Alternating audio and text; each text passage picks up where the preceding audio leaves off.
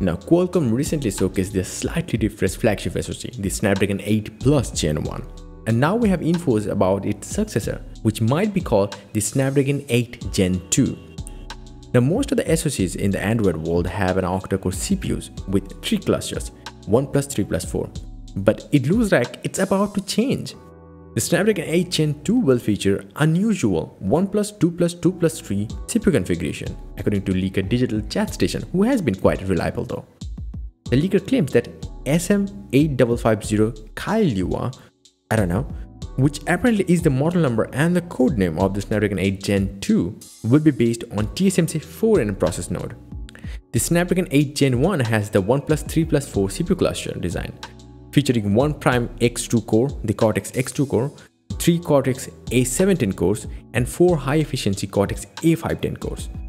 Now, a few years back, flagship chips used to have 4 high-efficiency cores and 4 performance cores. Now, you can look at the Snapdragon 845. The Snapdragon 8 Gen 2 will, however, have 1 prime Cortex X3 core, which is yet to be announced, 2 Cortex A720 cores, 2 Cortex A710 cores of the current model, and 3 efficient Cortex A510 cores. The tipster also adds that it will come with Adreno 740 GPU. Now the Cortex X3 and the A720 promises up to 30% more peak performance, peak CPU performance compared to the X1 cores of the Snapdragon 888. Now it definitely looks smaller of an improvement if, if you compare it with the current Snapdragon flagship chip, the Snapdragon 8 Gen 1 or 8 Plus Gen 1. It may be that the performance measured at equal clock speeds, but because we are hearing that the chip will be based on TSMC's 4nm processor node, we can expect even higher clock speeds. And so more performance. That's it. And this is gonna be the first chip in the Android world at the very least to feature four different types of CPU cores. That is crazy cool.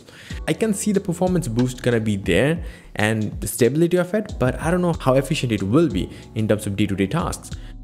Now as for the 740 GPU, we don't know much, but it will use same architecture as the current Adreno 730 GPU. So we have to wait for more news to come in or we have to wait till quarter fourth of this year because usually that's the time when Qualcomm announces its flagship chips every year.